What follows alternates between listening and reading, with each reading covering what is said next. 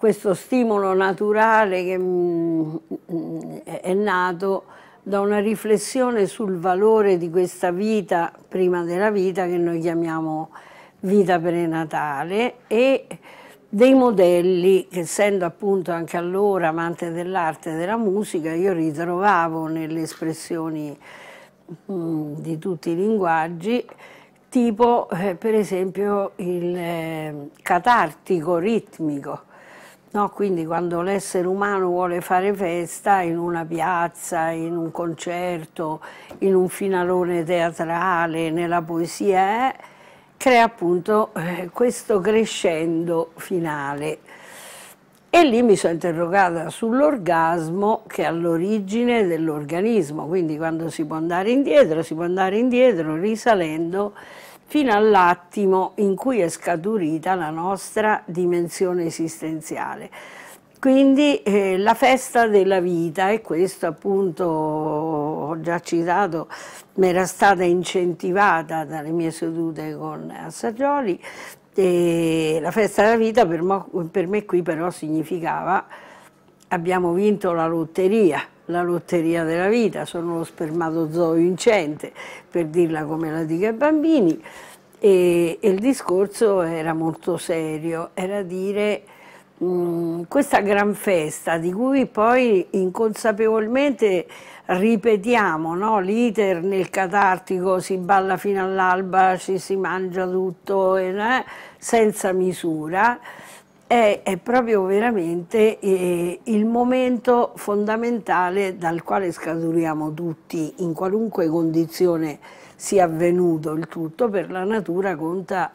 il futuro della specie, quindi è un momento che va oltre, e questa la chiamano appunto la transpersonalità, va oltre la persona di per sé. È una festa per il mondo che tu viva che tu viva, che è una specie di imperativo mh, mm, che l'uomo si porta dentro di sé geneticamente, perché la natura ci dimostra di far del tutto per farci sopravvivere alla sofferenza, al dolore, anche a dei mh, mm, travagli da parto difficili, anche eh, dalle endorfine a tutto quello che avviene durante questa vita prenatale. E allora mi sono messa ad osservare di più cosa succede nella vita prenatale. Prima di tutto c'è una volontà della natura di un modello che possiamo chiamare l'annidamento, sarebbe a dire l'ovulo fecondato deve farsi spazio e lo cominciamo a fare anche col corpo dentro eh, il piacere della vita, sarebbe a dire la placenta, quindi ci rende subito attivi eh, la legge della vita e eh, l'annidamento è un avvitarsi, è bello il gioco di parole, un avvitarsi in modo concentrico come un fagiolo che mette una radicetta o qualche altro seme che mette radici nella placenta come nella vita. Questo modo è un modo concentrico, quindi è la modellizzazione del primo stile che è un po' i mantra, oltretutto il suono sferico nel liquido amniotico con conduttore per eccellenza del suono e che oggi è anche registrabile, proprio una circolarità e io ai bambini lo faccio capire facendogli riempire delle brocche, meglio se so di rame o di terracotta perché senti e si sente l'armonico, no?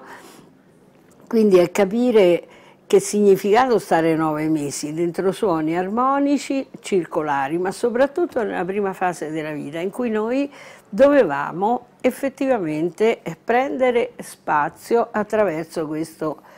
annidamento. Quindi da lì è venuto tutto lo studio che io avevo artistico alle spalle con delle convalide in tutti i luoghi del mondo e soprattutto a livello primitivo troviamo spirali, troviamo forme concentriche considerate eh, eh non, non, per la loro funzione mh, immediata esistenziale, considerate come il bello della vita, no? quindi queste forme ancestrali che abbiamo dentro di noi che sono quelle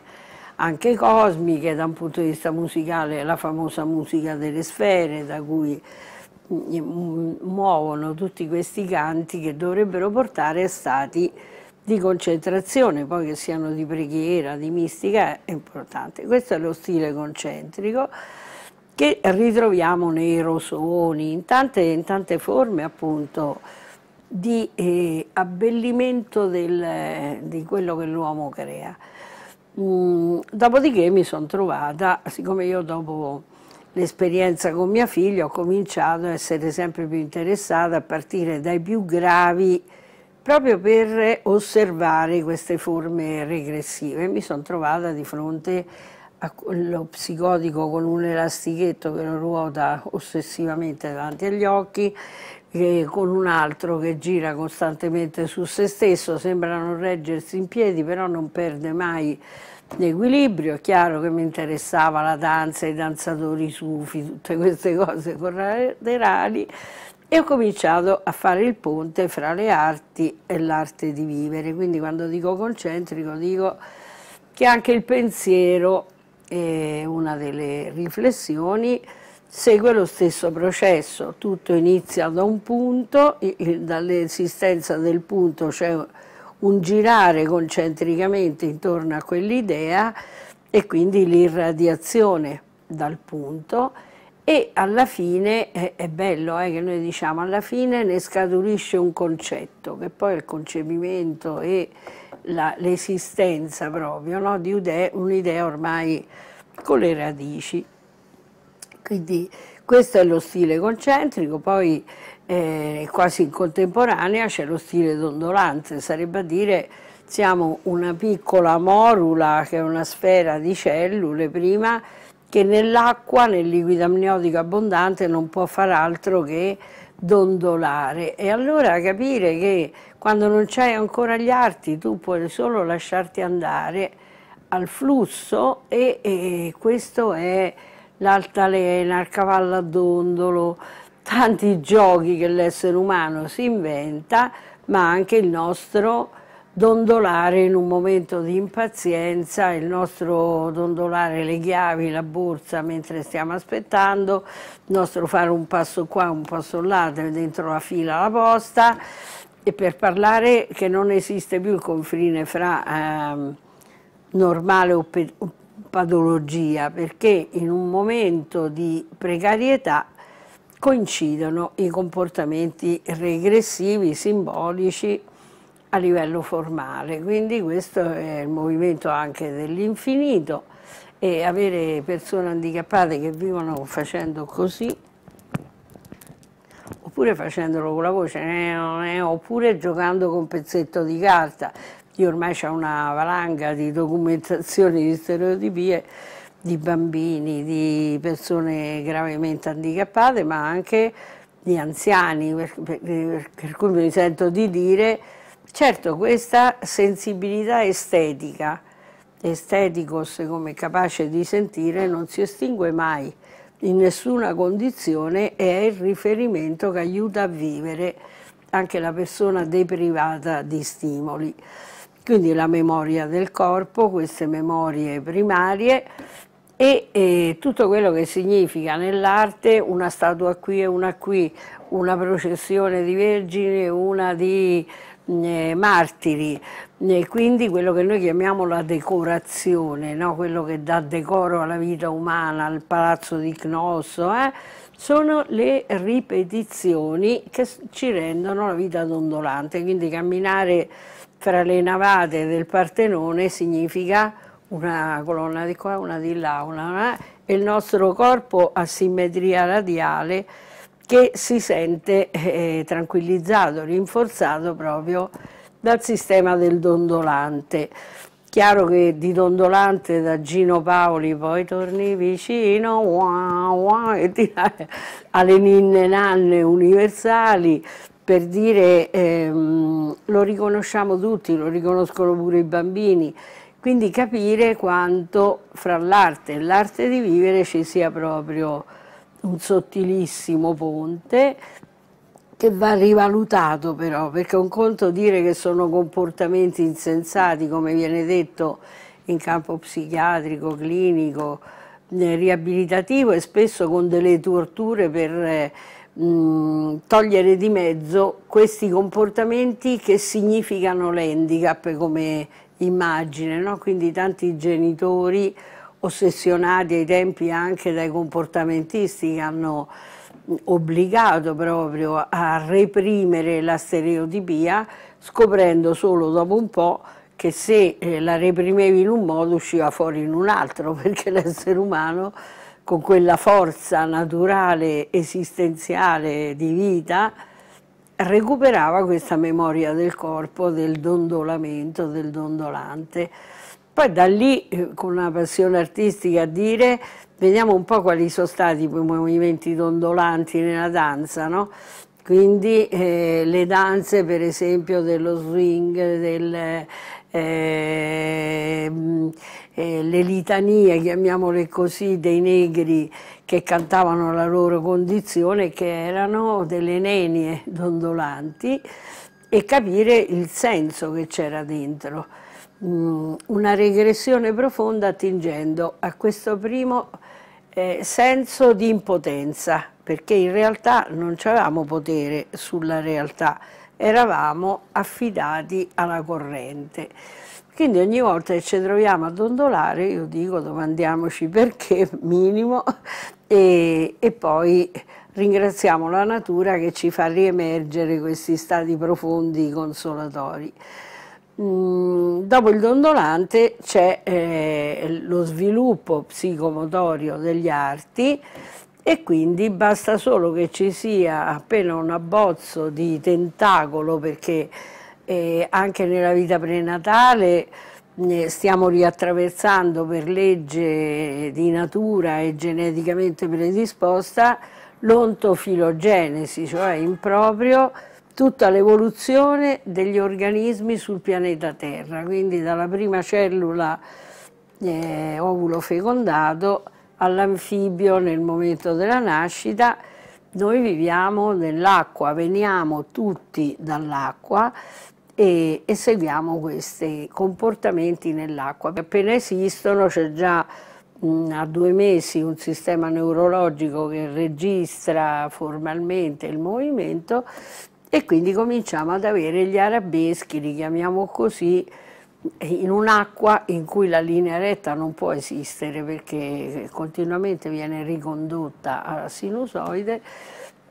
e quindi abbiamo lo stile melodico articolato che si articola eh, con gli arti e è una melodia anche del suono del liquido amniotico che si articola. E quindi quando sentiamo quando sei qui con me, para, para, para, qui è dondolante, poi a un certo punto va, suona un'armonica, mi sembra un organo che suona, e qui scaturisce il melodico, quindi spesso in musica, e non facciamo differenze fra musica colta, musica popolare, musica, in musica c'è prima un dondolante e poi un melodico tipo la la la la la la la la la e via di seguito. Quindi questo arabesco bello del melodico in cui c'è un prima e un dopo, quindi c'è un premio, no? già presento tararirara, la salita, la caduta, perché sono memorie profondamente corporee. Quindi mh, mm, è chiaro che io sono un appassionato ormai di questi mh, mm, andamenti lineari, chiamiamoli, che nella vita li puoi riconoscere nello stile del pensiero, nello stile di un segno, anche fosse di un eh, tossicodipendente che sta fuori dallo stato di realtà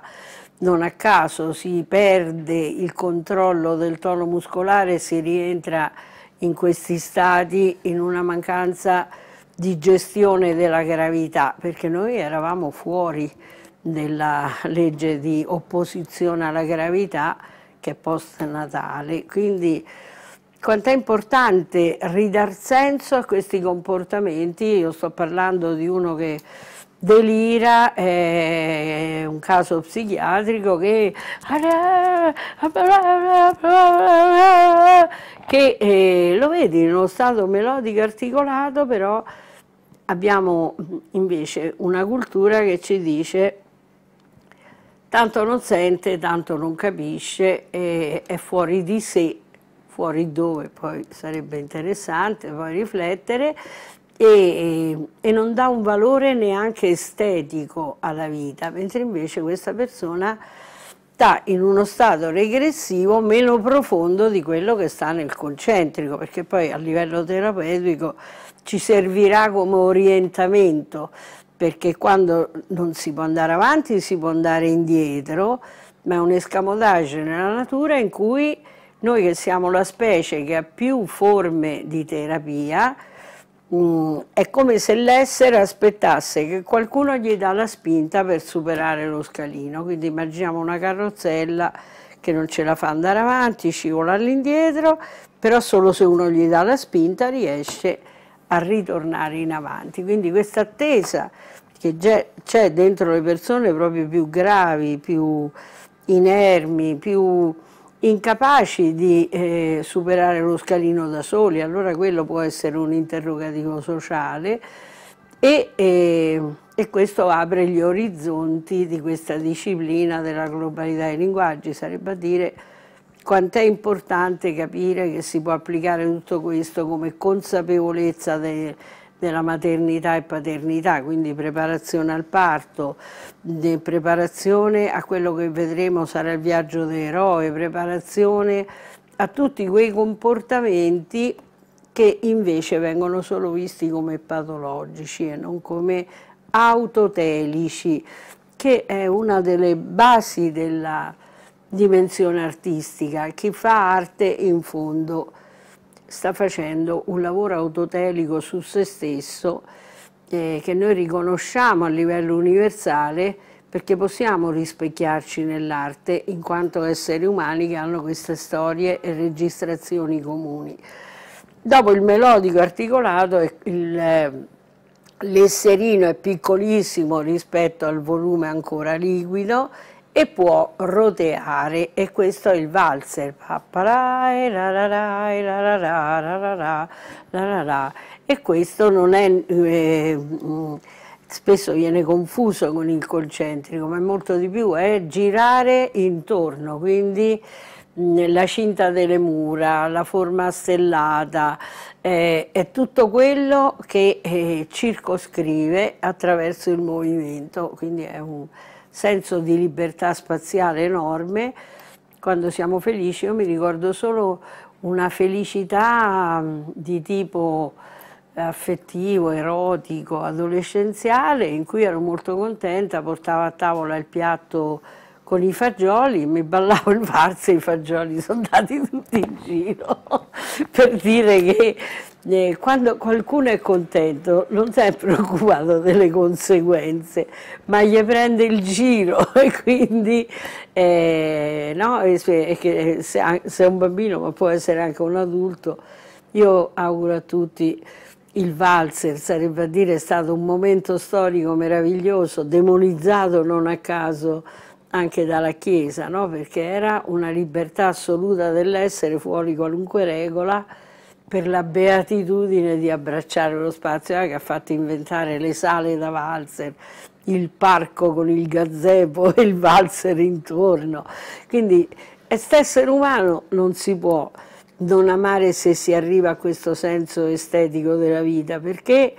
ma quante se ne ha inventate, quante se ne inventa l'handicappato più grave pur di sopravvivere secondo un principio di piacere restituendosi questi vissuti no? a livello anche psicomotorio. Quindi dar senso ai comportamenti insensari è il filo rosso, dopo il roteante, che è melodico articolato, roteante, abbiamo lo spazio che si restringe rimanendo elastico e, e comincia il tuca tuca, sarebbe a dire il feto comincia a toccare i confini, è la prima volta le pareti dell'utero e ad avere una memoria tattile che si chiama dialettica del duro e del molle, è il momento in cui il bambino comincia a farsi sentire di più no? in movimento, perché esplora questo spazio intorno e certamente lo spazio uterino è uno spazio sempre liscio, morbido, però con consistenze più o meno di affondamento. E la cosa interessante è proprio mm, il, eh,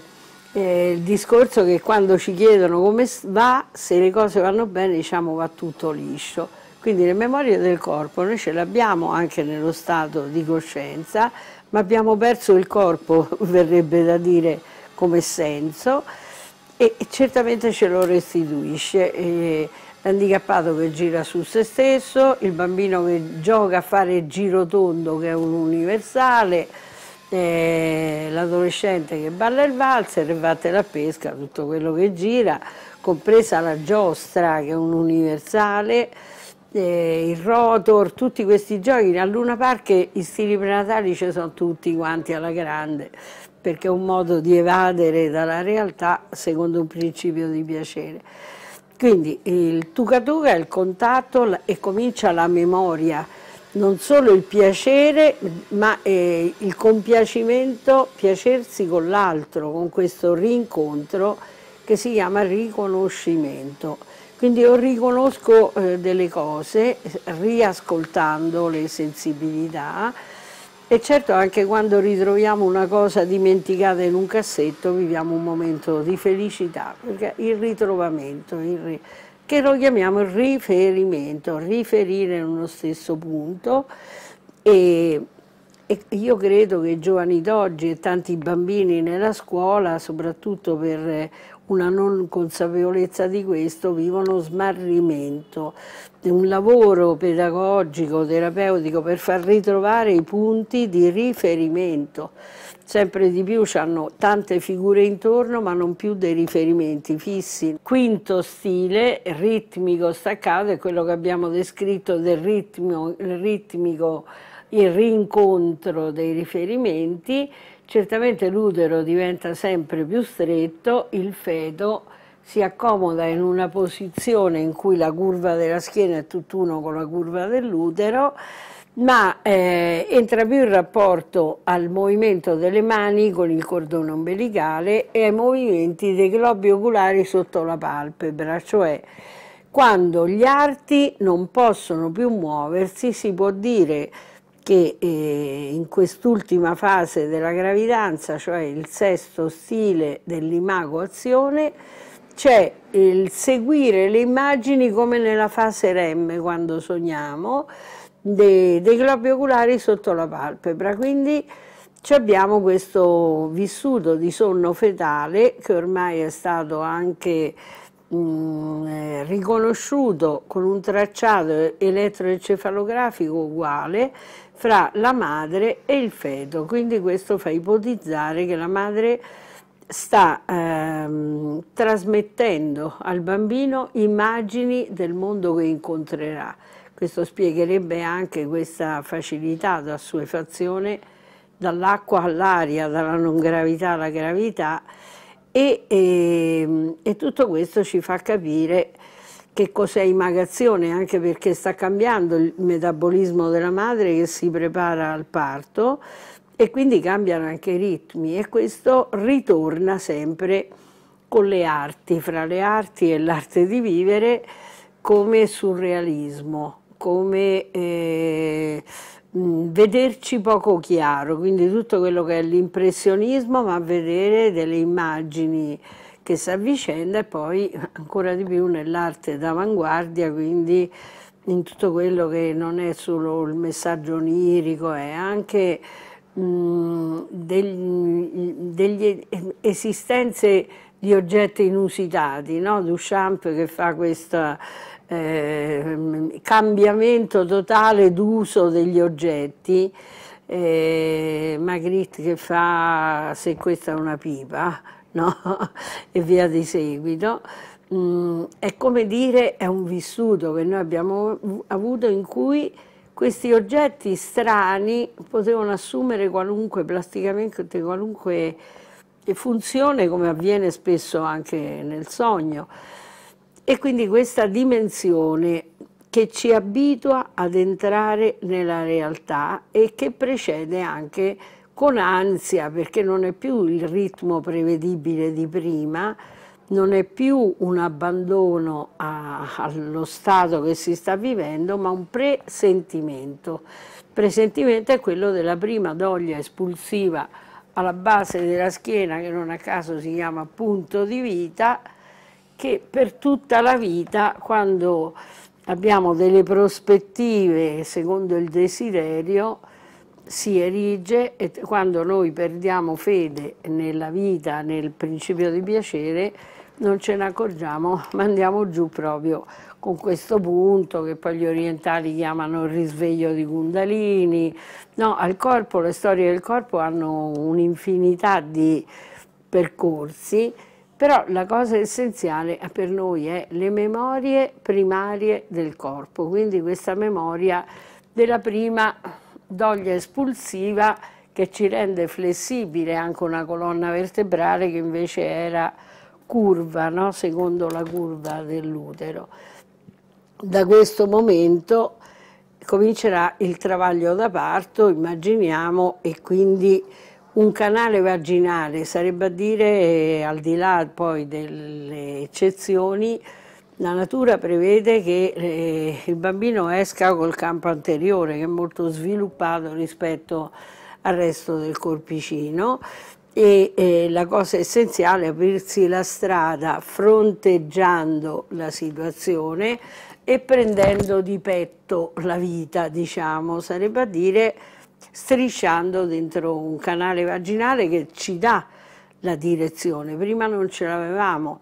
e come? Con eh, il puntellamento dinamico delle clavicole che si chiamano così perché sono le chiavi del movimento che per tutta la vita, se io ho intenzione di andarmene mentre parlo, già sto orientando prima di muovermi. Le clavicole, quindi tutto il discorso simbolico, i linguaggi non verbali, mm, il corpo matrice di segni in ogni sua parte,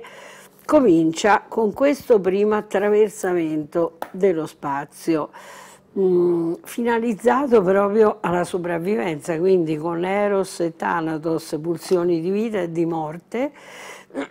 che entrano in agone e con un essere umano che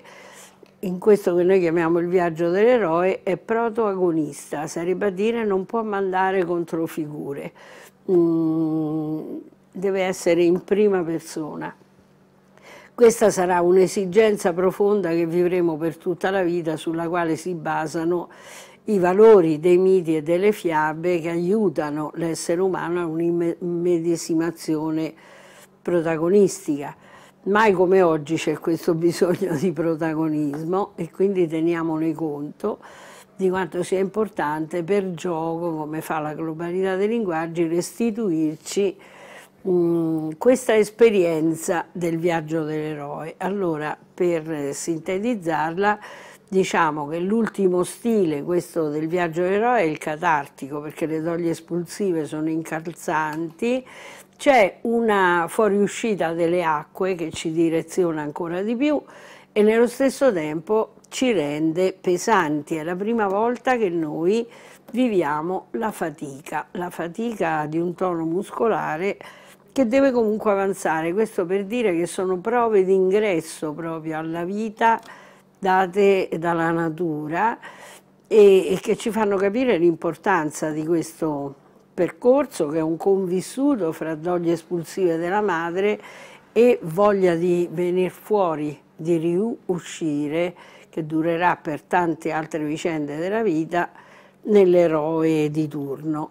Allora, mh, mm, abbiamo detto fronteggiare la situazione che significa anche però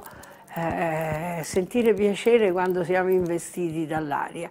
Per cui tutte le vittorie alate, tutte mar le marce eh, di rivoluzione eh, sono tutte controvento, con le bandiere che segnano il controvento, i vestiti controvento se gli cambiamo la direzione del vento non c'è più rivoluzione, non c'è più vittoria, quindi capiamo come siamo sensibili esteticamente a queste memorie universali. e che ci parlano attraverso l'arte, però allora chiamiamo anche l'iperventilazione asa, asa, asa, asa, di una eh, eh, persona che sopravvive nonostante abbia avuto delle immagini terribili, no? tipo la mamma che si è lanciata nel vuoto, eh? e che proprio con l'iperventilazione che è asa, asa, asa, asa, asa, riesce a cancellare qualunque immagine mentale. Oppure che cosa significa giocare appunto con stereotipie, con eh, mh, pezzetti di plastica, eh, eh, eh vicino al viso, no? Mh, o mettersi cose contro il viso, no? perché eh, c'è questo avanzare, questa via d'uscita che è lì, che fa sì che, eh, la, la, facciamo un po' breve, tutti eh, fronteggiando la situazione per la prima volta viviamo un confine, la sinfisi pubblica contro la quale impattiamo, e questo è il gesto della disperazione umana universale, contro il primo osso duro, si dice, sarebbe a dire ostacolo, eh, osteggiare, ostinato, tutte parole che hanno mm, una iniziale, diciamo, eh, anche per assonanza con osteos, con osso, eh, che mi dice non puoi andare avanti, anche se ti sembra di avere vicina la via d'uscita come in tante fiabe, miti e, e, e quindi l'ansia del trovare le altre vie d'uscita, altra stereotipia comunissima che anche fra una persona che ha fretta e deve comprare le cose a Natale si mette in mezzo alla folla a fare così, però poi di eh, stereotipie patologiche in situazioni di handicap grave, di Alzheimer, eccetera, ce ne abbiamo tante. Allora, questo, cercare la via d'uscita è l'angustia, lo spazio che è diventato troppo angusto e la natura ci costringe a sottometterci al senso di realtà. Allora, questi movimenti, il collo del feto non aveva mai avuto modo di farli, quindi di nuovo la natura ci educa a eh, sottometterci all'ostacolo e a riemergere come fa un delfino. E questo è il riuscire con il primo vagito che è il bruciore nell'ingoiamento dell'ossigeno in maniera diretta, abbiamo un cordone ombelicale ancora come un sommozzatore e quindi diventa un ghe, un ghe, un u e g e la e vibra proprio nelle corde vocali, quindi non è un wa, wa, ui, è un ghe ingolato. Tutte le volte che prenderemo la parola siamo molto emozionati, chissà se ci riesco, eh, che ne so, al collegio dei docenti, ci ritroviamo con la voce ingolata per far capire quanto siano profonde e universali nei diversi contesti le memorie del corpo. Ecco, io credo questo sia l'essenziale per capire quanta storia ci abbiamo già prima di nascere, quanto questo ci può illuminare per capire le arti, sarebbe a dire eh, inizia abbiamo iniziato diciamo, con il catartico dell'orgasmo, e poi abbiamo il catartico del riuscire, della, della nascita, quindi questo finalone, fuochi di artificio, banda, musica, eh, quindi crescendo di energia e di scarica, è proprio uno dei bisogni più grandi anche del gioco spontaneo dei bambini. Quindi questo spero ci illumini per non riuscire mai a dire eh, comportamenti insensati.